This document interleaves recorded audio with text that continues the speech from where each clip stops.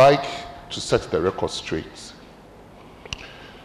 One of the pictures Professor Danquah showed was when WACCI was founded in 2007. It was this government, the predecessor of this government, that was in power.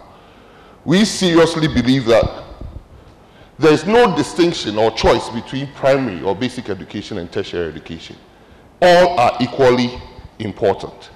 And our government has put in place a system to fund and reform both sectors equally and even secondary. One of the first jobs the president entrusted me when I became a minister of education is to try and promote centers of excellence in Ghana and in Africa. He sent me on a program in Kenya where Ghana formally accepted to become members of PASET. PASET being Partnership for Skills and Applied Sciences, Engineering and Technology, uh, which is into research and education and promotion of centers of excellence across Africa in the training and promotion of PhD students. The aim is to train over 200 PhD students. This is not a government that is anti-education or tertiary education. The next, he sent me to UNESCO to make sure that Ghana becomes not only a member of AIMS, African Institute of Mathematical Sciences, but to move us into a category two of UNESCO, which gladly we have become replicate through our manifesto is our intention to promote education, education, education. Education for all the sectors of economy, not leaving anyone aside. So we are in the establishment of STEM centers, centers of excellence for STEM around the country, and our manifesto promised 10, one in every region.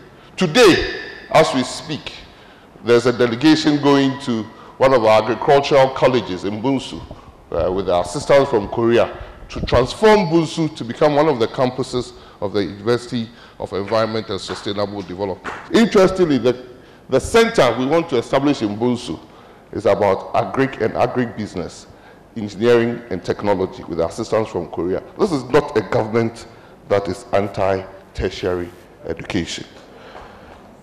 Besides, besides, we intend, we intend funding faculty development through GETFund. And we are in talks with the National Council for Tertiary Education to fund faculty development in tertiary institutions. This is not a government in against tertiary education. But what the president says that our universities are not bringing out graduates that are equally suited for the employment sector, he has a point there.